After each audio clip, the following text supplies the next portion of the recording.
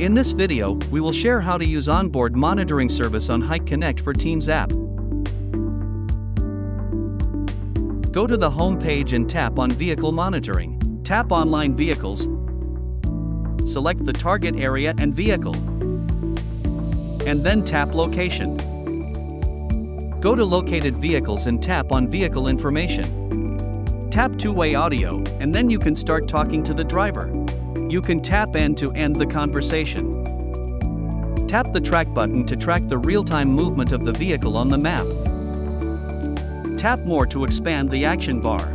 Tap the alarm output control button to turn the alarm output on or off. You can add vehicles to favorites or remove them by tapping here. Go to the application and tap on Vehicle Reports. You can see a leaderboard of the vehicle's data for different driving types.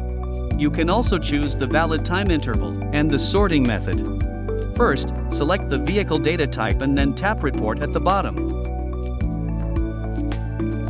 Daily, weekly and monthly reports can be generated by selecting the corresponding vehicles. You can also filter the data by speed.